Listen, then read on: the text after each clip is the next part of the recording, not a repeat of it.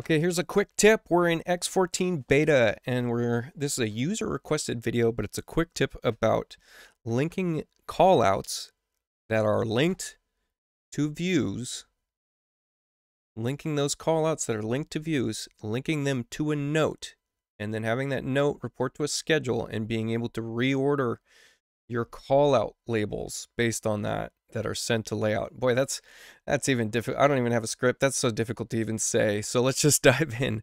I'm going to be in plan view here on the right hand side and I'm just going to start with dropping in a note. And that note is going to say that it's a typical wall detail because that's what I want to, you know, specify this for.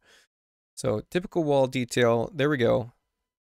And you see it shows up here in my plan keynotes. And I'm actually going to make a copy of this just so we see what exactly is happening here. And I need to change the name. So this is going to be something else.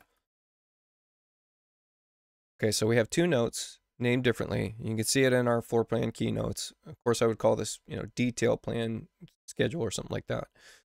Uh, so now I want to drop in a call out and the call out is going to be specifically written to utilize a, a global macro. So I'm going to create a macro that is uh, our dollar sign and we're going to just call this macro tip wall and that's going to equal the simple schedule.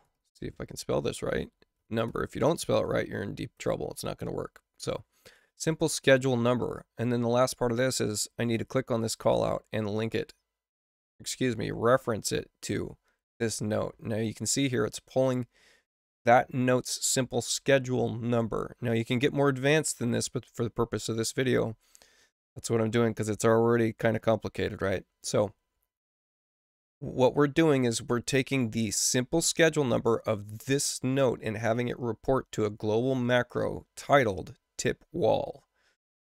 Now, the next thing I want to do is I want to take this call out and I want to link it to my detail. I'm going to link it to that typical detail typical wall. Okay. Now we're not in my detail typical wall. We're just in plan view here. Didn't really matter that I'm I'm in this eh, because there's another purpose to this whole thing. I'm going to open up my project browser. I'm going to open up my detail typical wall. And here we go. I want to send this to layout. Entire plan, yeah, current screen's fine. There we go. So here we are. And this is labeled appropriately, right? Detail typical wall. We see that part, but we're missing that call out. So let me open this up. And in our label panel, I'm going to use that in the label options section under the use call out uh, radio button. In our call out label, I'm going to put that macro that I created tip wall. And then I'll adjust my uh, line style to be that default line style. And then the call out itself will be a circle. There we go. So now you can see here, this is my detail sent to view. And if we close this detail out, we're going to see if we get in on this side and reorder my note schedule, you're going to see, look, it changed here, number two. Now we've got a number two over here. You can see it's dynamically changing as I reorder the schedule so that if we create, you know, some more notes and we change them to something else, same thing, we can just reorder these on the fly and be able to have kind of a dynamic labeling system for our details. Sure, there's going to be some questions about this. I know it's a little bit complicated.